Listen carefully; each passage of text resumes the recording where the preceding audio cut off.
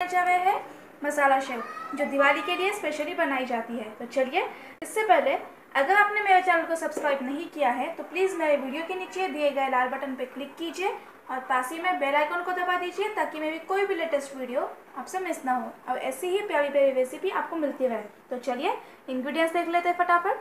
तो इसे बनाने के लिए यहाँ पर मैंने लिया है हीरा बेसन आटा। या चने का आटा ये मैंने लिया है 500 ग्राम। इतने बेसन के लिए हम जो शेव बनाएँगे, उसके लिए हमें जो मसाले चाहिए सूखे, वो देख लेते हैं।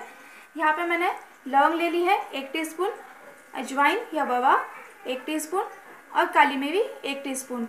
ये हमने एक एक टीस्पून लिया है। इसे हमें मिक्सी में चलाना होगा और इसकी बारीक पाउडर बना लेनी होगी। तो ये मैंने एक एक टीस्पून ले लिया है। लाल मिर्च पाउडर ले ली है मैंने, एक टीस्पून ये मैंने यहाँ पर मैं कश्मीरी लाल मिर्च पाउडर यूज़ कर रही हूँ तो ये अच्छा सा कलर भी दे देगी और नमक हम अपने स्वाद अनुसार लेंगे।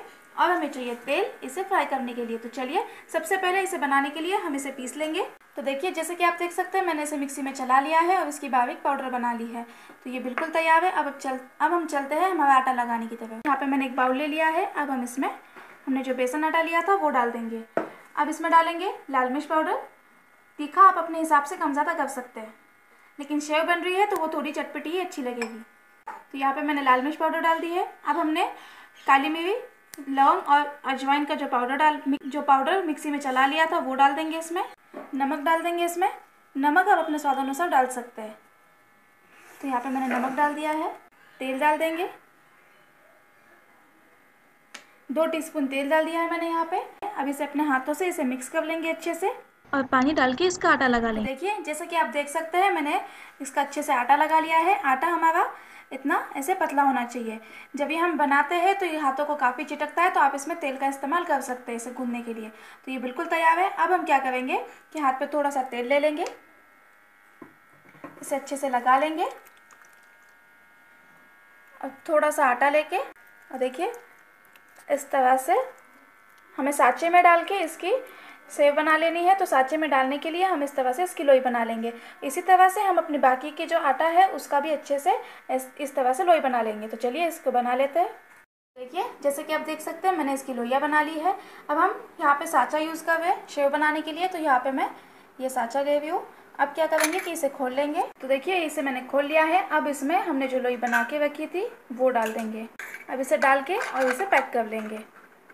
और जब तक कि ये बन रहा था तब तक के मैंने पहले ही तेल गरम के लिए रख दिया था। अब हम चलते हैं इसे फ्राई करने के लिए हमारी शेव बनाने की तरफ़। तो चेक कर लेंगे एक बार तेल गरम हो चुका है कि नहीं? तो ये देखिए इसे डाल देंगे। तो हमारा तेल अच्छे से गर्म हो चुका है। अब हम इसमें शेव शेव बना लेंगे। इसे निकाल लेंगे पहले। और शेव बनाने के लिए इसमें डाल देंगे। तो चलिए। तो इस तरह से हमें शेव इसमें डाल देनी है। तो देखिए, यहाँ पर मैंने इसे डाल दिया है। अब इसे मीडियम फ्लेम पे हमें इसे अच्छा सा गोल्डन और क्रिस्पी होने तक के इसे फ्राई कर लेना है। तो देखिए, ये अच्छे से फ्राई हो चुका है। अब हम इसे निकाल लेंगे। पहले इसे टिश्यू पेपर पर निकालेंगे ताकि इसका जो एक्स्ट्रा ऑयल है वो निकल जाए और उसके बाद हम इसे सर्विंग डिश में सर्व कर देंगे। इसे निकाल लेंगे। बिल्कुल इसी तरह से हम अपने बाकी की जो शेव है, उसे भी बना लेंगे। देखिए, अच्छे से डाल देंगे इसमें।